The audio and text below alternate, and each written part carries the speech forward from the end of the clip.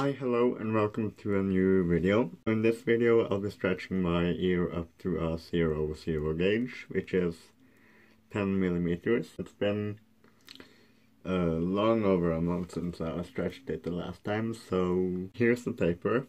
I have to use Vaseline for this because I don't have my coconut oil available right now. I'm just gonna, you know, put Vaseline on the taper thingy, you know. I'll just take this one out like that. See?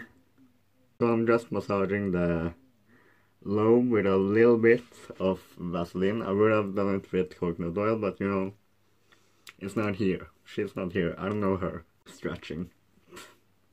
It's a lot of work. I'm telling you that. And I actually had the downsize after I stretched this ear to a zero gauge in my last video because, yeah, I'll tell you when I've edited the full journey, you know? But yeah.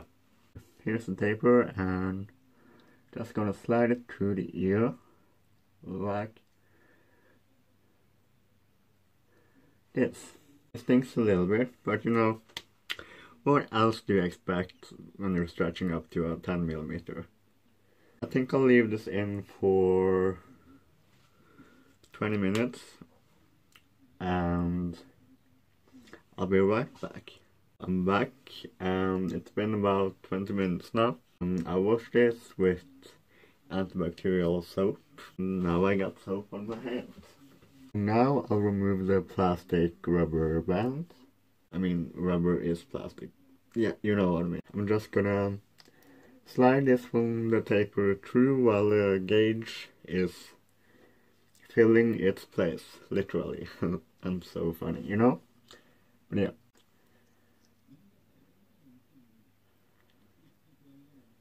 And it's in with like literally no trouble at all.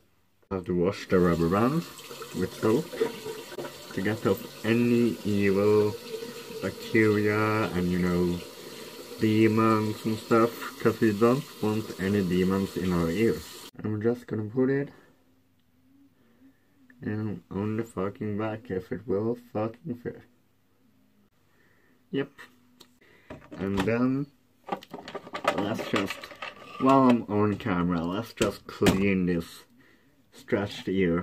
You know, you have to clean it with with the antibacterial wound cleaning once or twice a day. But yeah, thanks for watching. Remember to like and ooh, fancy.